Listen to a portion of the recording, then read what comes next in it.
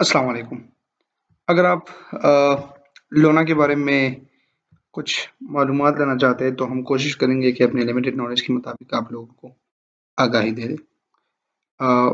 Market की क्या situation है? मार्केट की सिचुएशन कुछ खास नहीं। हाँ लोना के बारे में कुछ इंपॉर्टेंट चीज़ें मैं आप लोगों के सामने रख रहा हूँ।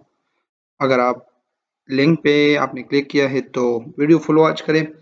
एंड में मैं आपको बताऊँगा कि आपको क्या स्ट्रेटजी इनमें अप्लाई करनी चाहिए। कि जो कि आपके लिए आ, कुछ ना कुछ फ़ायदा हो। और लोना की प्राइस कहाँ तक जा सकती है?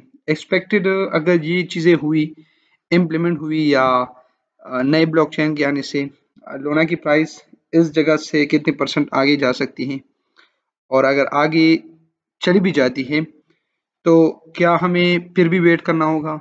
क्या हमें फिर भी इंतज़ार करना होगा कि नहीं हमें मार्केट से आउट होना है? तो उन चीज़ों को आपको आपके सामने रखूँगा कि क्या सिचुएशन है। सबसे पहले जो आ जाती है कि इस क्रैश से हमें एक लाइव लेसन भी मिला है कि कभी भी अपनी, जितनी भी आपके पास इन्वेस्टमेंट है, उसको कभी भी किसी एक कॉइन में ना रखें। बहुत से कॉइन गिर चुके हैं। मैं ये नहीं कह रहा कि सिर्फ़ एक ही कॉइन लोना जो था वो गिर चुका है। बहुत से कॉइन गिर चुके हैं, लेकिन फिर भी और के मुकाबले में ये बहुत ज़्यादा क्रैश कर चुका है। तो बैकेंड पे जो रीजंस थे, वो तो ऑलरेडी हम डिस्कस कर चुके हैं। लेकिन अब क्या होगा? आने वाले दिनों में क्या होगा? लोना के जो सीईओ है, उस पर भी बहुत ज़्यादा केस चल रहे हैं। मेरे नज़र से ट्विटर पे एक न्यूज़ गुजर गई कि इनको पता था कि मार्केट क्रैश होगी या अल्गोरिदम में जो है मसला होगा।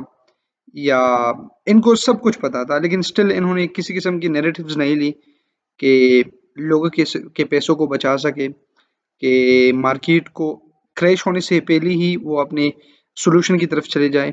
तो ऐसी किसी किस्म की नेरेटिव्स नहीं ली गई हैं। अगर इनको जैसे ही मार्केट क्रैश होने लगी तो इनको क्या बाइनेंस के साथ मर्ज करना चाहिए था, जो क्या इनको बाइनेंस से हेल्प लेना चाहिए था? क्या इनको अपनी करेंसी को या लोना को या जो टोकन है, उसको शिफ्ट करनी चाहिए थी कि बाइनेंस के अपने ब्लॉक ब्लॉकचेन पे? क्योंकि उनकी यूज़र्स भी ज़्यादा है और उनके जो स्टेबल है, किस्म की कंपेरेटिवली अगर इस दोनों की कंपेरिजन करें तो क्या इन लोगों को उस चीज़ पे जाना चाहिए था? जाना चाहिए था, लेकिन ये लोग नहीं गए। तो कुछ गलती उन्होंने भी की हाँ एक और चीज़ कि जब भी आप लोग अक्सर ये भी कहते हैं कि दूसरों की चीज़ से अच्छा है कि इंसान का अपना चीज़ हो तो ये बेटर है। अगर आप ये इन पे शिफ्ट करते थे तो उनकी भी कुछ मसले हो, होंगे लेकिन स्टिल जो न्यूज़ आ रही है कि इनको सब कुछ पता था लेकिन स्टिल उन्होंने मार्केट को स्टेबल नहीं किया। अगर लोना का प्राइस कब जाएगा ऊपर? इंपॉर्टेंट चीज़। अगर ये रीब्रेंड कर दे then the price can pump लेकिन अब कितना परसेंट जाएगा? अब 40 percent fifty percent thirty five percent यहाँ तक जा सकता है। तो क्या अगर मार्केट यहाँ तक पहुँच जाती है, ये याद रखिएगा पॉइंट्स मैं आपके सामने रख रहा हूँ। अगर वो इसको रिब्रांड करे तो अभी तक किसी किस्म की न्यूज़ नहीं आई कि इसको रिब्रांड कर रहा है कि नहीं। लेकिन अगर करे तो क्या मार्केट तो यही 40 परसेंट पचास परसेंट पम्प कर सकता है। तो क्या हमें स्टिल वेट करना चाहिए कि मार्केट और भी ऊपर चली जाए? तो आपको ऐसा कभी भी नहीं करना होगा। आपने कोशिश करनी होगी, अगर 40 परसेंट पे मार्केट चली जाती है तो आप 70 percent sixty five percent fifty percent अपनी इन्वेस्टमेंट को निकाल लें। अगर ये सिर्फ़ इस तरह करें कि एग्जिस्टिंग ब्लॉकचेन पे सिर्फ़ अपने कॉइन का नाम चेंज करें तो क्या मार्केट तब भी ऊपर चली जाएगी? तो मुझे नहीं लगता। अब मुझे इस तरह नहीं लगता कि लोगों का जो ट्रस्ट था इस पे, ये बहुत ही इन्होंने लोगों का ट्रस्ट ख़त्म कर दिया इस करेंसी ने। मार्केट ऊपर अगर सिर्फ़ नाम चेंज करेंगे और पुरानी ब्लॉकचेन पे इसको डालेंगे तो मुझे नहीं लगता कि मार्केट ऊपर जाएगी। दो चीज़ें हैं कि रीब्रांड करेगा, नाम चेंज करेगा करेंसी का तो तब ये एक्सपेक्टेड है कि मार्केट ऊपर चली जाए। हाँ एक और चीज़ कि अगर मार्केट में किसी किस्म की न्यूज़ आ जाती है तब मार्केट ऊपर जा सकती है। लेकिन अगर मार्केट में किसी किस्म की न्यूज़ नहीं आती, अगर डंप ही कर सकती है और भी नीचे जा सकती है, लेकिन अगर मार्केट में न्यूज़ नहीं आती और इन्होंने ये ये नैरेटिव्स ली तो मार्केट फिर ऊपर चली जाती, जा सकती है। हाँ अगर मार्केट में कुछ अच्छी न्यूज़ आ जाए, आ जाती है, जिस तरह 42 के 45 कंट्रीज़ के साथ इनका जो कोलेब्रेशन था कि हम क्रिप्टो करेंसी को लीगलाइज करेंगे। तो शायद इन चीज़ों की वजह से मार्केट पंप करे। अगर नहीं होता तो इनको ये ये नैरेटिव लेने चाहिए मेरे ख्याल में। तो तभी मार्केट ये थोड़ा बहुत ऊपर चली जाएगी। इनको एक और मैं जो समझ रहा हूँ कि बाइनेंस ने भी इनको बहुत ज़्यादा ऑफर्स दी लेकिन स्टिल वही बात आ जाती है कि इनका अपना ब्लॉकचेन था तो उसको छोड़ के किस तरह। तो ये भी उनके लिए एक डिफ़िकल्ट सिचुएशन थी। आ, लोना में आप अगर 40 परसेंट मार्केट चली जाती है तो आप अपने इन्वेस्टमेंट को मैंने जिस तरह आपको ऑलरेडी बता दिया कि अपने इन्वेस्टमेंट को निकाल दें। कभी भी आप ऐसा ना करें कि अगर मार्केट ऊपर चली जाती है आप कहते हो कि नहीं मुझे वेट करना होगा कि मार्केट जब तक वन तक या टू तक नहीं जाती तो मैं इसको नहीं निकालूँगा। तो मैं आपको ये सजेस्ट करूँगा कि अगर मार्केट ऊपर चली जाती है पैंतीस चालीस परसेंट तो आपको अपने पैसे निकालने चाहिए। अगर आप फुल नहीं निकालना चाहते तो seventy five to eighty percent आप निकाल दे। बाकी छोड़ दे, शायद मार्केट चली भी जाए। अब अगर इन्होंने नाम भी चेंज किया ब्लॉकचेन भी चेंज किया, और मार्केट ऊपर चली गई, और इसकी दर, इसी इसी के साथ साथ कुछ गुड न्यूज़ आ गई कि प्लानी कंट्रीज़ ने या प्लाना कंट्रीज़ ने या प्लाना कंट्रीज़ या लोना प्लानी कंपनी ने इन्वेस्टमेंट किया है। तो शायद फिर मार्केट और भी ऊपर चली जाए, और भी ऊपर चली जाए। लेकिन स्टिल इस तरह की कुछ न्यूज़ या कुछ अपडेट्स नहीं है, जिसे हम कह सके कि मार्केट 45 से भी ऊपर चली जाएगी।